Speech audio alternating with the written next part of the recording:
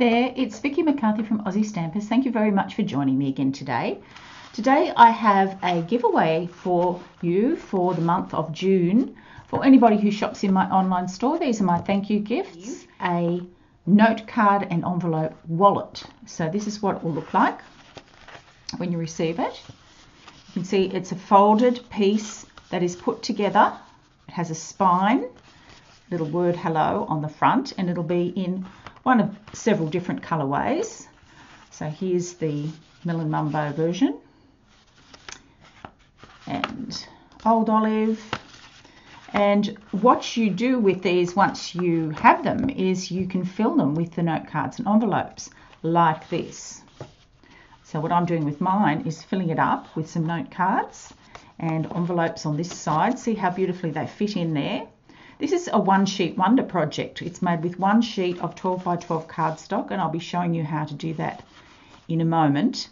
But it will fit six of the note cards in one side and six envelopes in the other. So this makes a really nice little gift to give to people. And what you'll receive will be the wallet to fill up with the note cards and envelopes. I'll be posting these out to you Remember not to check the no contact button when you place your order so that I have a way of contacting you so that I can post them to your home address and you'll receive one of these adorable little note card and envelope wallets to keep your note cards and envelopes in.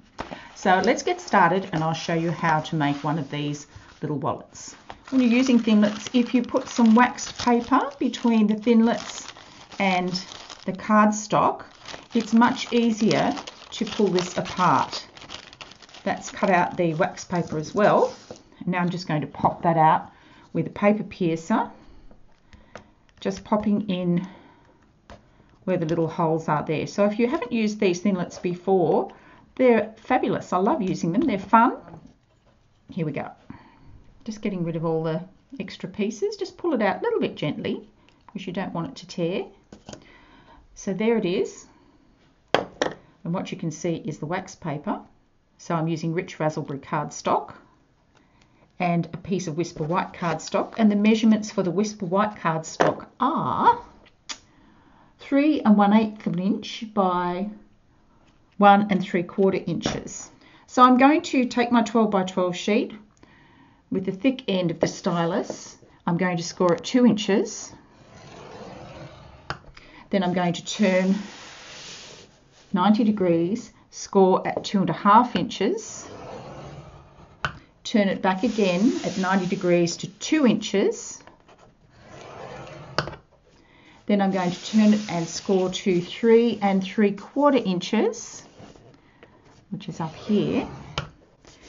And I also want to do what's going to be the spine. So if you can see on this one here, you can see this spine section in here, this piece here is what we need to get a fold on as well.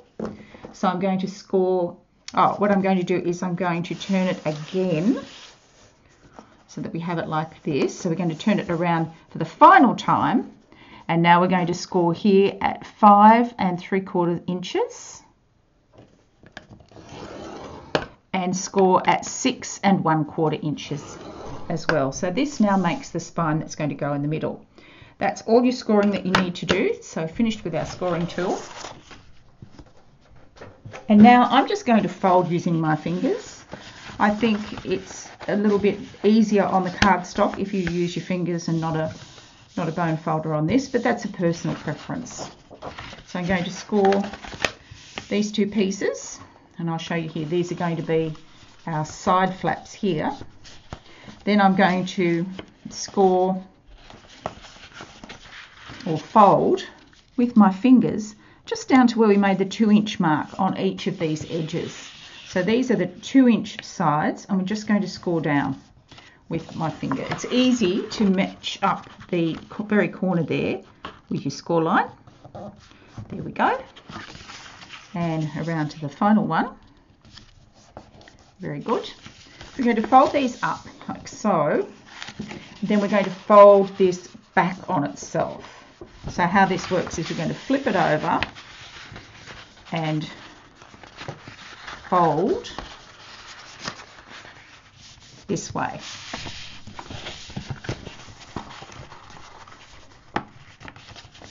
So now we have this shape. So there's your outside, there's the inside. Now you don't need any adhesive at all for this. All you do is just tuck this piece under here and tuck this end under here our wallet is almost there. All we need to do now is fold along the spine lines and this is where I will bring a bone folder in because this does take a little bit of extra scoring here because it's it's four thicknesses of paper or extra thicknesses of paper here. And score again here. And here's our wallet ready for decorating. So this is how it is. No adhesive. That just clicks under here like that. And once you've put your note cards and envelopes in it you can have it this way where you've got the longer piece at the top or you can have it this way where you've got the smaller piece at the top. It's really your preference. With mine I put them together with the smaller piece at the top. It just seemed to give the weighted piece here a little bit more space. So we'll do the same on this one. Doesn't really matter as I say you can do it either way. Now we're going to decorate. So all we need to do here is to grab some Tombow multi-adhesive my whisper white piece of cardstock and what I'm going to do before I adhere the white piece is I'm going to use this as a little mat to sit my hello on while I add some glue. If you have the fine tip glue pen, this would work extremely well. But I'm quite happy to use the Tombow and just use a small amount. So what I do is, because I'm going to be gluing this down, I'm going to get my Tombow started on here. Then I'm just going to dot onto the word hello and pick up some from where I've made a little pool of glue. I'm not squeezing the glue at all, I'm just picking it up from the pool. Just going to put that to one side. Now where I've used the glue here, this is going to be the back of my decor piece. I'm just going to glue this onto the center of the front of my note card and envelopes wallet like so. And now I can flip this over and tweezers would be good, but I don't know where I've put my tweezers at the moment. They are on my desk somewhere, but I just don't want to fiddle around looking for them. I'll use my fingers. Easy enough. And there's our word hello. So there's the rich razzleberry version of the free gift for June for my online customers. All you need to receive this is to order from my store from the new catalogue when it comes out in June. And you can receive a note card and envelope wallet to keep your note cards and envelopes in place or just to put together a little gift pack for somebody by filling it up with some note cards and envelopes that you've made. So remember, if you're shopping from my online store in June, this is my thank you gift to my customers. I look forward to hearing from you. I hope you enjoyed that project today, and I'll see you again next time. Bye for now.